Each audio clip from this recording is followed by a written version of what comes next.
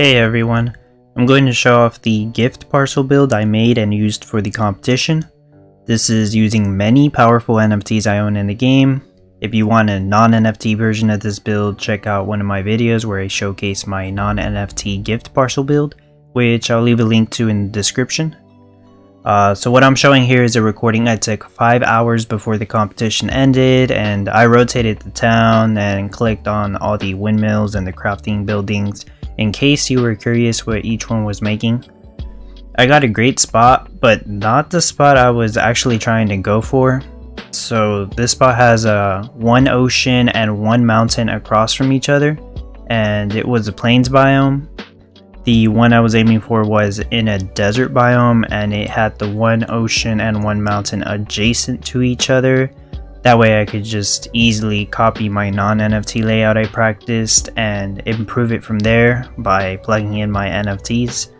I do believe I could have done better if that was the case, but it's fine. I improvised and I made this one work as well as I could.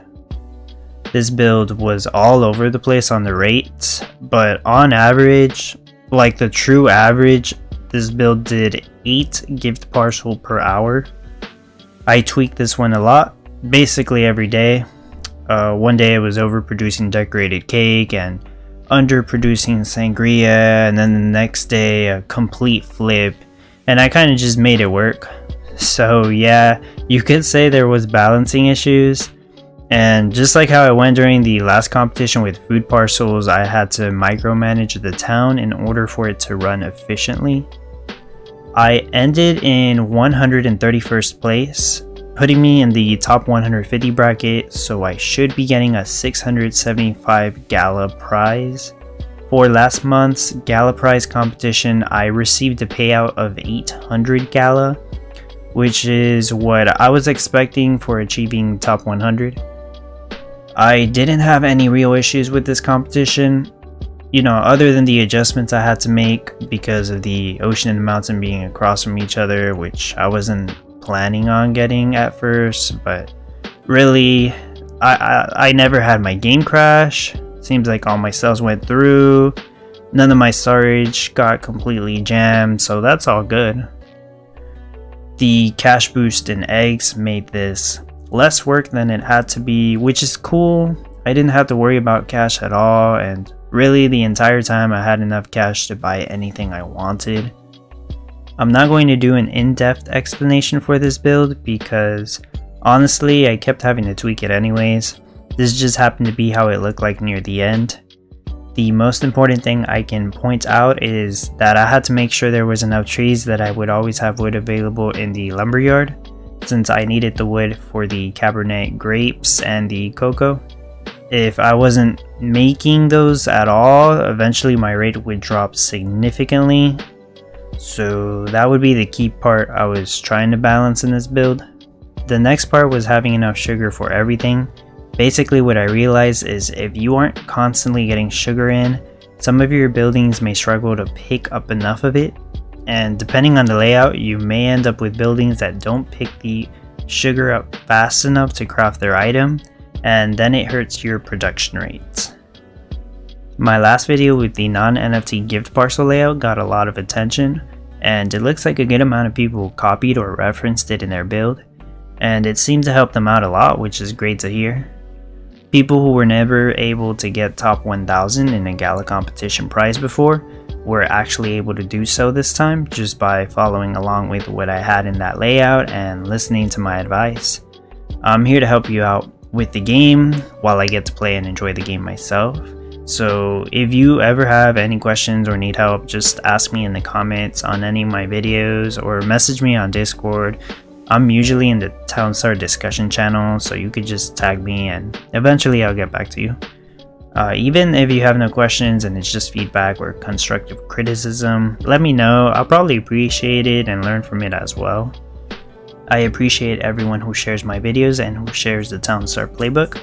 You're helping people get all the info they need for the game or the upcoming competition from doing so. It can answer lots of questions at once and get people more informed, interested, and potentially engaged in the game if they like it. Shout out to Lycan Warlord for showcasing my non-NFT gift parcel build. And shout out to Drak Grinds Gala and Ben Crypto Gaming for sharing and explaining the Townstar playbook. Uh, shout out to everyone who shares the Townstar playbook in the Townstar discussion channel. It's a lot of you and I appreciate you all. Also, shout out to the Korean, Spanish, Portuguese, Dutch, Turkish, and Filipino communities.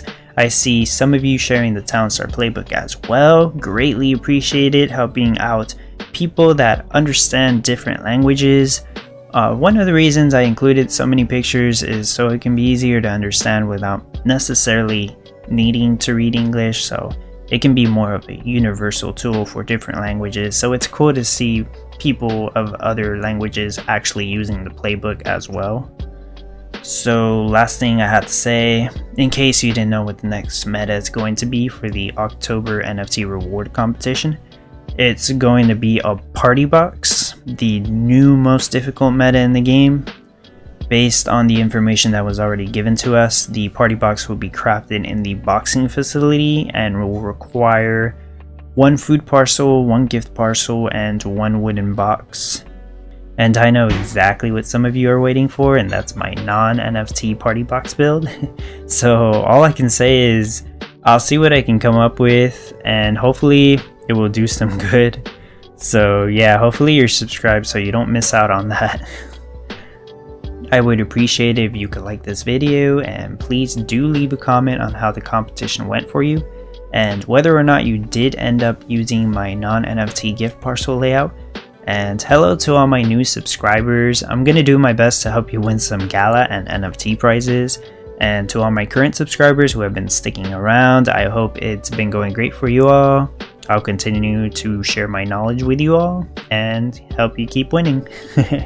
I appreciate all your support. Thanks for watching.